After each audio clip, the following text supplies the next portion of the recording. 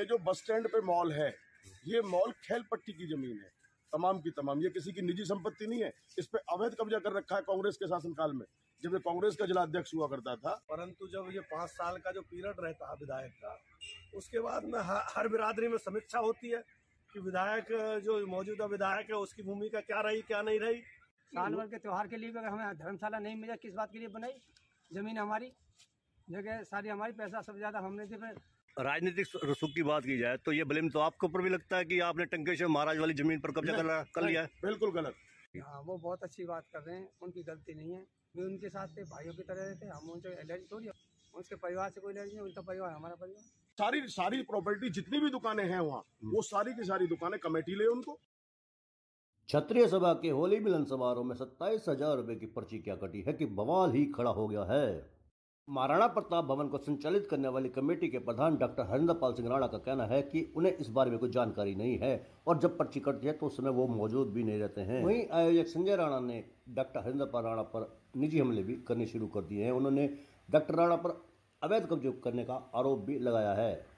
दरअसल, इस पूरे मामले का केंद्र बिंदु पूर्व मंत्री करण सिंह दलाल है। राजपूत समाज दलाल को विधायक बनाने में अहम भूमिका निभाता आया है। 2009 में जब दलाल से राजपूत समाज की नाराजगियाँ बढ़ी तो पलवल विधानसभा में भी बदलाव का नारा बुलंद हो गया। दलाल को अपने राजनीतिक जीवन में पहली बार हार का मुँह देखना पड़ा। दलाल के क्षेत्र में राजनीतिक पकड़ इतनी मज़बूत थी कि तत्कालीन प्रधानमंत्री अटल बिहारी वाजपेयी की पलवल में चुनावी सभा भी जीत को नहीं रोक पाई थी। यहाँ तक कि तब के मुख्यमंत्री ओम प्रकाश चौटाला की करो या मरो वाली दलाल हराओ नीति काम नहीं आई। लेकिन 2009 में दलाल का करिश्माई तिलस्म टूट गया। इससे पहले के चुनावों में आलम ये होता था कि कई बूथों पर विपक्षी प्रत्याशियों के तक नहीं बिछते थे।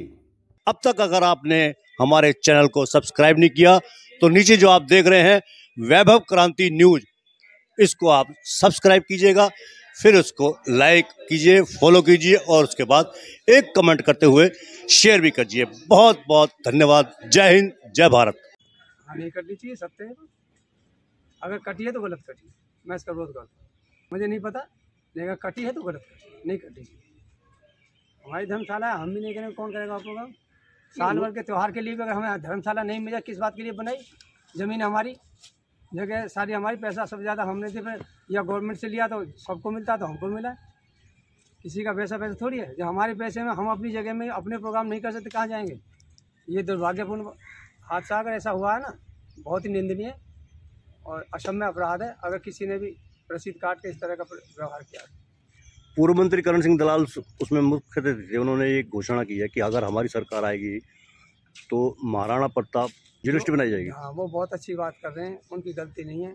जब आदमी से उगना कुछ चीज़ जब जाने लगती है तो लोग खैरात बांटने लगते हैं। हम भी उनके साथ थे भाइयों की तरह रहते हम उनसे एलर्जी थोड़ी उसके परिवार से कोई एलर्जी नहीं उनका परिवार हमारा परिवार। महाराणा प्रताप भवन के बारे में ये कहा जा रहा है होली मिलन समारोह हुआ है होली के बहाने करण दलाल की फिर से एंट्री हो गई है राजपूत समाज में। करण दलाल भी इसी समाज का हिस्सा है उसको बुलाया।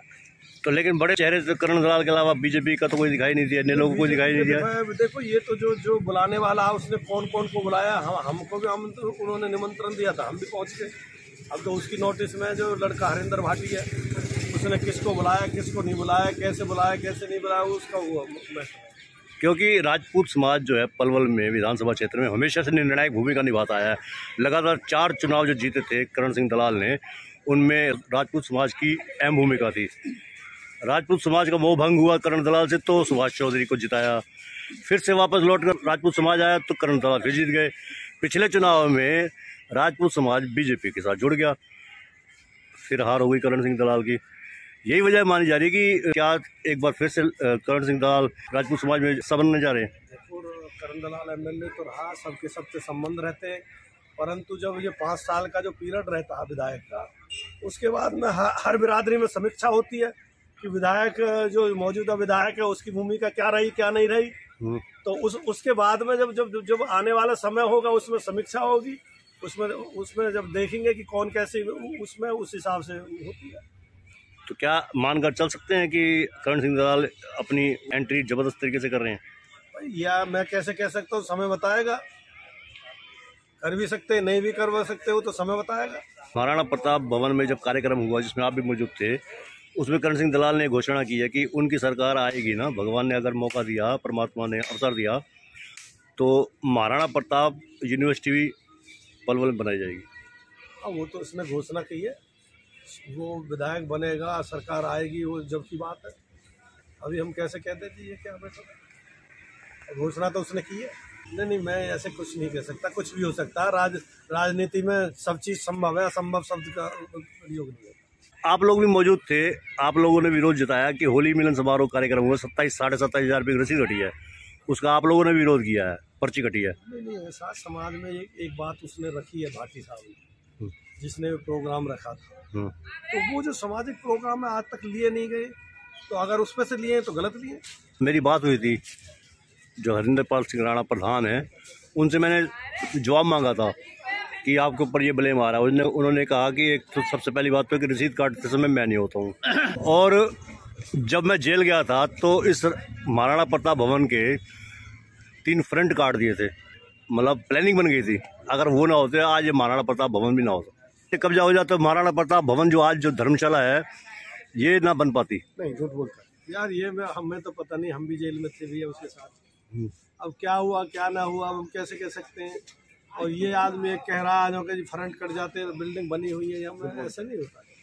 ये जो बस स्टैंड पे मॉल है, ये मॉल खेल पट्टी की ज़मीन है, तमाम की तमाम। ये किसी की निजी संपत्ति नहीं है। इस पे अवैध कब्जा कर रखा है कांग्रेस के शासनकाल में। जब ये कांग्रेस का जिलाध्यक्ष हुआ करता था, उस वक्त से इस पे कब्जा करे बैठा है, जिसका कोर्ट में केस चल रहा है, आज भी विचाराधीन है। तमाम शहर के जितने ब्राह्मण हैं, ब्राह्मण पट्टी की और माली पट्टियों की ज़मीन है ये जो मॉल में। मैं भारत सरकार से और हरियाणा सरकार से मांग करता हूँ कि ये जो ज़मीन है हरियाणा सरकार इस ज़मीन को ले क्योंकि तो सामलात पट्टियों की जमीनें हरियाणा सरकार ने उनको लेने का काम किया था। इसकी ज़मीन कैसे रह गई है? क्योंकि इसकी ज़मीन है नहीं। राजनीतिक रसूख की वजह से ये आदमी इस प्रॉपर्टी पे कब्जा करे बैठा है। राजनीतिक रसूख की बात की जाए तो ये ब्लेम तो आपके ऊपर भी लगता है कि आपने टंकेश्वर महाराज वाली ज़मीन पर कब्जा कर लिया है? बिल्कुल गलत। टंकेश्वर महादेव मंदिर की वो ज़मीन है हमने कोई कब्जा नहीं कर रखा। भगवान की ज़मीन है एक एक इंच वहाँ पड़ी हुई है। एक एक इंच ज़मीन वहाँ पड़ी हुई है। ये आप गलत कहते हो इस बात नहीं मैं नहीं कहता लोग कहते नहीं हैं। लोगों को क्या कहने का मतलब है? मैं मैं कागज़ दिखा देता हूँ मेरे पास कागज़ उसके टंकेश्वर भगवान के कागज़ हैं। वो मंदिर की ज़मीन है और एक इंच ज़मीन ना कब्जा कर सकते हैं ना किसी को करने देंगे। कब्जे खाली कराएँगे। कब्जे पहले लोगों ने कर कब्जे खाली कराया तो फिर वहाँ पर जो क्रश है। बिल्कुल बंद है आप जाके देख लो मौके बंद। वो तो भगवान का करेसर पड़ा हुआ है जब बाउंड्री स्टार्ट होगी तो बाउंड्री के लिए करेसर नहीं चाहिएगा। करेसर भी चाहिएगा रोडी भी चाहिएगी। मिट्टी भी चाहिएगी ये क्या गारंटी है कि आप इस पर कब्जा नहीं करेंगे? नहीं एक सेकंड भी नहीं गारंटी क्या गारंटी तो तुम्हारी भी नहीं है तुम ये चैनल को आज चलाओगे शाम बंद कर गारंटी है। टंकेश्वर महादेव मंदिर जो है भगवान के नाम वो ज़मीन है टंकेश्वर महादेव मंदिर की वो ज़मीन है। हमारे पूर्वजों ने सौ साल पहले उसे दान दिया लेकिन ज़मीन पर हमारा अधिकार नहीं है। मैं आपके चैनल के माध्यम से मैंने कई बार आश्वस्त किया है भगवान की ज़मीन है भगवान की रहेगी। हमने तो उल्टा खुद मेरे अपने निजी परिवार के मेरे भाई बंधु उस पर कब्जा करना चाह रहे थे। मैंने उन पर मुकदमा दर्ज कराने का काम किया। मंदिर के ट्रस्ट का मेरे भाई जो है, ताऊ का लड़का, उसका प्रधान है। और समाज के पूरे समाज, शहर के और लोग जो है, उसमें हमारे साथ जुड़े हुए हैं। मंदिर की ज़मीन को ना हम एक इंच लेंगे, ना किसी को लेने देंगे। कांग्रेस जब सरकार थी, भूपेंद्र हुड्डा मुख्यमंत्री हुआ करता था, उस वक्त में इस मॉल का नक्शा पास हुआ है। जो मॉल आपका बस स्टैंड पे है। जिसको पता नहीं कौन से नाम से जाना जाता है, मुझे तो पता नहीं कोने पे बना हुआ एक मॉल है, बहुत बड़ा काफ़ी जो है। किन लोगों का है, वो सारे शहर को पता है। एक तरफ़ कांग्रेस सरकार ये कहा करती थी कि भाई पट्टियों की जमीनें जुमले मालकान की ज़मीन, इस पे हरियाणा सरकार ने उसको ले लिया है। तो ये पट्टी की ज़मीन हरियाणा सरकार ने क्यों नहीं ली? मैं इसको लेकर के अभी मनोहर लाल खट्टर जी से भी जाकर मिलूँगा, क्योंकि भूपेंद्र हुड्डा के शासनकाल में ये, इसका नक्शा पास हुआ है, इस नक्शे को निरस्त किया जाए। क्योंकि ये पट्टी की ज़मीन है। सारी सारी प्रॉपर्टी जितनी भी दुकानें हैं वहाँ वो सारी की सारी दुकानें कमेटी ले उनको। ये रूल है। और सरकार लेने के बाद में उस पर सरकार एक तो शहर की आमदनी बनेगी। दूसरा क्या नाम है जो हमारी कमेटी पे पैसा आएगा तो वो शहर पे खर्च होगा। तो जिन लोगों ने बाहुबलियों ने इस तरह के जो अवैध मैं मैं तो योगी आदित्यनाथ जी का धन्यवाद करता हूँ। अभी आपने देखा होगा मेरठ के अंदर बुलडोजर चल रहे हैं। मैं मनोहर लाल खट्टर जी से निवेदन करता हूँ आपके चैनल के माध्यम से कि वो भी बुलडोजर बाबा का रूप धारण करें और जो सरकारी ज़मीन पर अवैध कब्जे करे हुए हैं, उन अवैध बिल्डिंगों को गिराने का काम किया जाए, क्योंकि बिल्डिंगें बनने से क्या नाम है, ये नहीं है। जिस दिन आप बुलडोजर बाबा बन जाओगे मनोहर लाल खट्टर जी, उस दिन पूरे प्रदेश के अंदर एक अमन चैन आ जाएगा और जो ये बाहुबली अपने आप को कहते हैं उनकी जमीनें जो कब्जा रखी है सरकार की, उन जमीनों को खाली कराने का काम किया जाए। मैं खट्टर साहब से निवेदन करता हूँ आपके चैनल के माध्यम से। मैं श्योर हूँ, अगर मैं गलत साबित हो जाऊँ, मैं शहर छोड़ दूँगा। मैं मनोहर खट्टर जी से सारे पेपर ले जाके मिलूँगा कि हमारे शहर के अंदर जो पट्टियों की जमीनें हैं, वो सरकार की जमीनें हैं, उनको कमेटी ले और कमेटी उस पर दुकानें बनाने का काम करे, जिससे शहर की सुंदरता में चार चाँद लगे।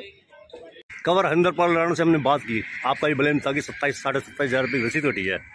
वो हम वापस लेंगे, समाज ने मांग की है। हमने बात की तो उन्होंने कहा था कि जिस समय रसीद कटी होगी, वो होते नहीं, उस समय ना थे। और दूसरी बात यह है कि जब वो जेल गए थे तो तब तो लोगों ने इसके फ्रंट तक काट दिए थे। आज महाराणा प्रताप भवन है तो सब कुछ है। वो जो जेल जेल जाने की, जहाँ तक बात है, वो जेल जाने की जो बात करता है, वो जेल कोई देश के लिए नहीं गया। क्रिमिनल आदमी है, उसमें वो जेल चला गया। और रही उसकी बात, क्या नाम है जहाँ तक उसमें प्लॉट काटने की आप बात कर रहे हो, किसी के बाप की औकात नहीं है जो वो प्लॉट काट दे। समाज की प्रॉपर्टी है और कौन है जो समाज की प्रॉपर्टी प्लॉट काट देगा या दुकान बना लेगा? असर झूठ है? और सत्ताईस हज़ार की रसीद की जहाँ तक बात है, ये जो प्रॉपर्टी है, ये समाज की प्रॉपर्टी है। किसी के बाप की बापौती नहीं है। समाज ने प्रस्ताव पास किया है कि जो सामाजिक कार्य होंगे जो भी सामाजिक कार्य होंगे उसमें कोई रसीद नहीं काटी जाएगी। चाहे होली मिलन समारोह होगा चाहे महाराणा प्रताप जयंती मनाई जाएगी सत्ताईस हज़ार रुपये लेने की तो वो मंगला से बात हुई है एक जो कोषाध्यक्ष बना रखा है। साढ़े सत्ताईस हज़ार रुपये उससे लेके आएँगे हम लोग। तो होली मिलन समारोह में तो करण सिंह दलाल के अलावा कोई बड़े चेहरे नहीं थे? नहीं उसमें बड़े छोटे से मतलब नहीं है ना। कहीं सत्र चल रहा है योगी आदित्यनाथ जी के शपथ ग्रहण समारोह में। यहाँ पे तो राजा भैया के आने का कार्यक्रम था। हमारी बातचीत हो चुकी थी। तो यहाँ तो समाज के जो भी लोग हैं शहर के जिम्मेदार लोगों को सबको निमंत्रण दिया था। तो जो पलवल के बीजेपी के नेता हैं या इन्हें रमेश लोग हमारे बीच में थे वहाँ पे बैठे हुए थे। इन्हें लोग के नेता जिम्मेवार आदमी चेयरमैन रहे हैं हमारे शहर के। हमारी बरादरी के मेन मुख्य आदमी है। वो हमारे साथ थे मतलब कार्यक्रम राजनीतिक नहीं था? नहीं कार्यक्रम राजनीतिक थोड़ी है। लोगों में चर्चा है इस बात की? नहीं नहीं सामाजिक कार्यक्रम था हमारा और राजनीति तो आती जाती रहती है। राजनीति चर्चा अगर चर्चा ना हो तो फिर वो कार्यक्रम ही क्या? नहीं चर्चा इस बात की नहीं है कि होली मिलन समारोह मनाया हो। चर्चा ये थी कि करण सिंह दलाल एक बार फिर से पैट बना रहे हैं। ये कार्यक्रम सामाजिक कार्यक्रम है और सामाजिक कार्यक्रम में अपना इज़्ज़त जो शहर के जुम्मेवार लोग हैं उनको बुलाया जाएगा। और फिर करण सिंह दलाल को हमारा दुश्मन थोड़ी है। क्या हो गया करण सिंह दलाल अगर कार्यक्रम में आ रहे हैं तो? अच्छी बात है महाराणा प्रताप यूनिवर्सिटी देने की बात की गई है आज। वो कितने लोग हैं जिनको तो महाराणा प्रताप दिखाई भी नहीं देते जिन्होंने देश के लिए जान दे दी जिन्होंने देश के लिए बचाने के लिए मुगलों से लड़ाइयाँ लड़ी। महाराणा प्रताप यूनिवर्सिटी की घोषणा तो करण सिंह दलाल ने की है ना कि जब सरकार आएगी? करण सिंह दलाल ने कहा है संकल्प लिया है महाराणा प्रताप भवन में कि भाई अगर भगवान ने मौका दिया तो महाराणा प्रताप यूनिवर्सिटी बनाने का कार्य किया जाएगा। तो जैसे हर बार निर्णायक भूमिका निभाता राजपूत समाज क्या इस बार भी अगर वो उनकी सरकार बनती है तो विधायक अगर होते हैं तो क्या राजपूत समाज की भूमिका रहेगी? आपका प्रश्न बहुत अच्छा रहा है। मैं यही चाह रहा था कि आप ये पूछें। हम्म। राजपूत समाज निर्णायक भूमिका नहीं निभाता। राजपूत समाज बनाने और बिगाड़ने की हैसियत रखता है पलवल के अंदर।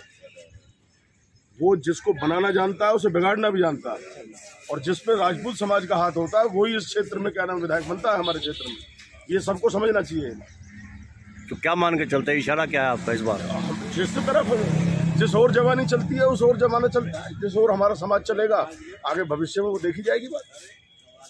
दूसरी तरफ़ विश्लेषकों का ये कहना है कि इनका मोह भंग हो गया असल में बीजेपी से। नहीं ऐसा कुछ नहीं है। अभी योगी आदित्यनाथ जी कार्यक्रम में गया था मैं पार्टी का प्रवक्ता हूँ पलवल की बीजेपी मैं भारतीय जनता पार्टी का मैं स्वयं प्रवक्ता हूँ मैं। पलवल की बीजेपी से। उससे इसका कनेक्शन नहीं है। ये सामाजिक कार्यक्रम है। सामाजिक कार्यक्रम में बुलाए भी जाते हैं और हम बुलाएँगे सबको। दीपक मंगला विधायक है उनसे जो अपेक्षाएँ थी राजपूत समाज को वो किया गया था इस कार्यक्रम में? कौन कहता नहीं किया आमंत्रित? दीपक मंगला जी से आप फ़ोन मिलाइए मैंने आमंत्रित किया है। मैं मैं स्वयं खड़ा हूँ आपके सामने। ऐसे थोड़ी है। करण सिंह दलाल जी को भी आमंत्रित किया गया था। और भी ये तो एक सामाजिक वजह क्या रही होगी? क्यों नहीं आए? सदन चल रहा है सत्र चल रहा है चंडीगढ़। उसी दिन कई कार्यक्रम में भाग लिया था जवानागर कैंप में भी भाग लिया था। सत्र तो चल नहीं रहा था होली मिलन वाले दिन। तो बेटा आया था मोंटी आया।